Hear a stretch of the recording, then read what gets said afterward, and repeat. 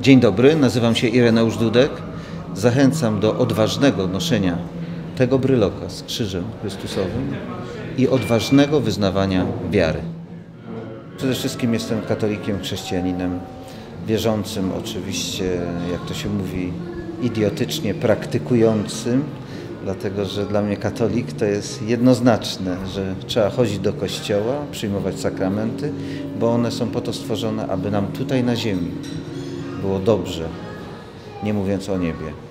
Ale mówiąc tak przyziemnie, zostałem wychowany w ogóle w wierze katolickiej i z uwagi na to, jak wspomniałem, jestem rock'n'rollowcem, czyli wszelkie uciechy życia nie są mi obce, oprócz śpania, na szczęście, e, ale zakręty alkoholowe i inne rzeczy doprowadzały mnie czasami do różnych skrajności, że byłem bardzo chory, że niejednokrotnie lądowałem w szpitalu na bardzo długi okres czasu, ale zawsze tam ta obecność y, kaplicy, miałem to szczęście, że zawsze, nie wiem czy w każdym szpitalu jest, ale tam gdzie ja byłem była zawsze kaplica, mogłem się skontaktować z Bogiem bardzo osobiście i wtedy to był ten czas, nie jak ktoś mówi idę do szpitala i może to jest w jakimś stopniu czas przepraszam za słowo, przeklęty, ale to był czas do zastanowienia się nad sobą, czyli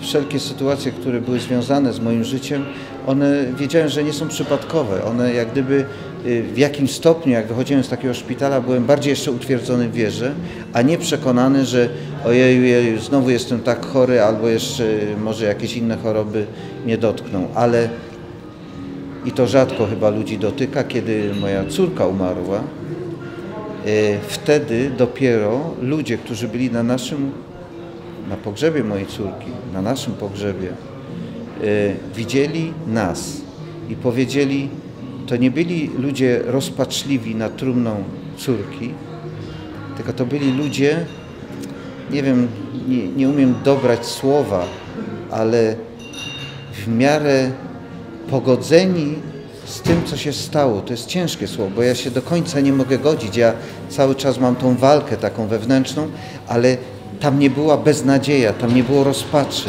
tam była wiara, że moja córka, no, w to powinniśmy wierzyć, bo po to jesteśmy, prawda, katolikami, że wierzymy w zmartwychwstanie i życie wiekuiste, że tutaj ten, ten byt tutaj na, na, na ziemi jest tylko y, takim czynnikiem, który może nas doprowadzić do lepszego bytu lub do gorszego, to jest nasz wybór.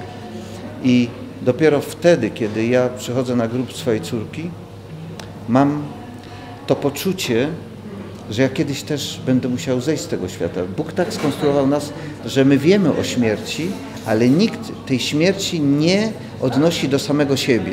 To jest wielki fenomen, ale trzeba pamiętać o tym, że, że to życie tutaj na ziemi ono czemuś ma służyć. Tak jak mój kolega ostatnio prześmiewnie powiedział, że, bo on gromadzi bardzo dużo pieniędzy, tego mówi, ale trumna nie ma kieszeni. I tutaj jest właśnie bardzo istotna rzecz, aby człowiek umiał zrozumieć jedną rzecz. Po co tutaj na ziemi jest? No i oczywiście, jeżeli nie umie stworzyć podstawowej komórki, na przykład sztucznie, z jakiej jesteśmy zbudowani, w każdym calu oczywiście, czy atomu, tak, tym bardziej nie umie stworzyć sam z siebie człowieka, więc niech nikt mi nie mówi, że dlatego tak postępuje, bo on jest Panem siebie. Dla mnie ci ludzie e, są bardzo, e, jakby to powiedzieć, żałośni to bym obraził nieszczęśliwi, o może bardziej, to jest dobre słowo, bo ja nie chcę nikogo obrażać i tutaj już przejdę do innej rzeczy. Natomiast my chrześcijanie jesteśmy po to, aby przede wszystkim pokazywać naszą wiarę poprzez życie, ale również umieć upomnieć kogoś. Ja niejednokrotnie y, dostawałem po łbie za, za swoją, jak to niejedni mówią, bezczelność, bo ja nawiążę do prostej rzeczy. Nagminnie teraz już nawet w Sejmie zaczynamy do debilizmów dochodzić. Dla mnie w pewnym sensie zboczenie, pedalstwo, inaczej tego bym nie nazywał, y, jest czymś złym, ale nie człowiek, tylko ten człowiek, który ten czyn zły popełnia. Czyli To, że u nas już niekiedy do szkół podstawowych albo coś prelegenci, homoseksualiści idą, aby edukować. W czym oni chcą edukować? W złym? W grzechu, że to jest inność? Nie. Trzeba umieć, my chrześcijanie, katolicy powinniśmy umieć powiedzieć czarno-biało. Najgorzej być umiarkowanym, najgorzej być letnim. To już Chrystus powiedział, nie wolno wam być takimi. Dlatego, że poprzez letniość wprowadza się do nas szatan różnymi kierunkami. I tu znowu powiem sprawę taką niepopularną.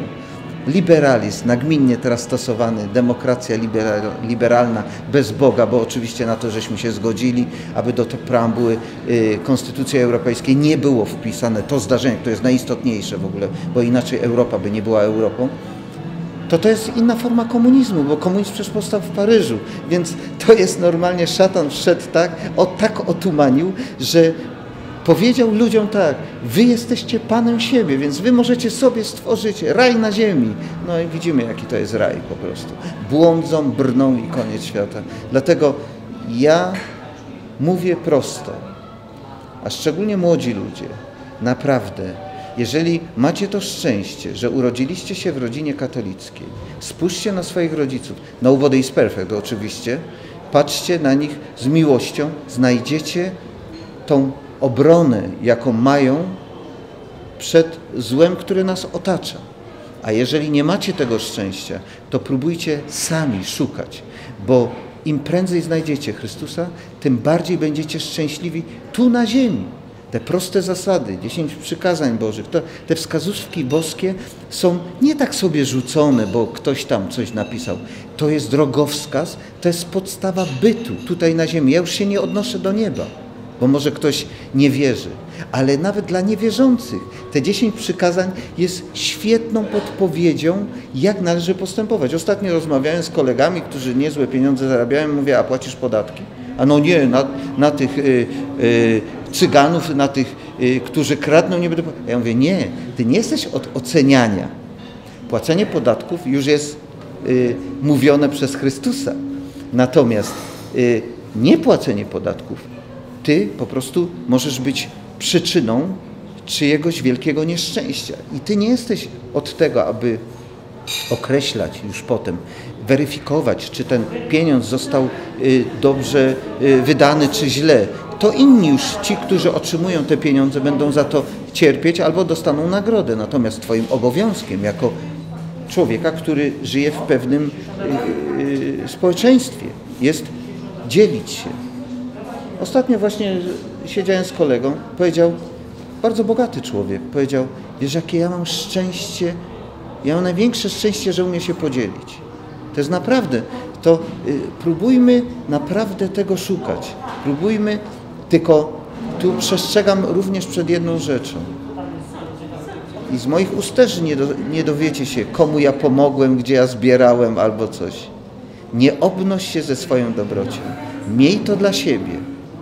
Mów o tym, bo trzeba mówić, natomiast nie pokazuj się, o, ja tak postępuję, bo to już dostaniesz tu na ziemi, jak gdyby zapłatę, więc nie szukaj tej zapłaty w niebie. Ale e, co mnie generalnie cieszy, że ja mogę dzisiaj rozmawiać z ludźmi, którzy do mnie zadzwonili parę dni temu. Ja najpierw zweryfikowałem, co to jest za portal, skąd się to bierze, bo ja się czasami boję obnoszenia, żebyście nie myśleli, że ja teraz dzisiaj się obnoszę z Bogiem, z Chrystusem, z krzyżem. Nie.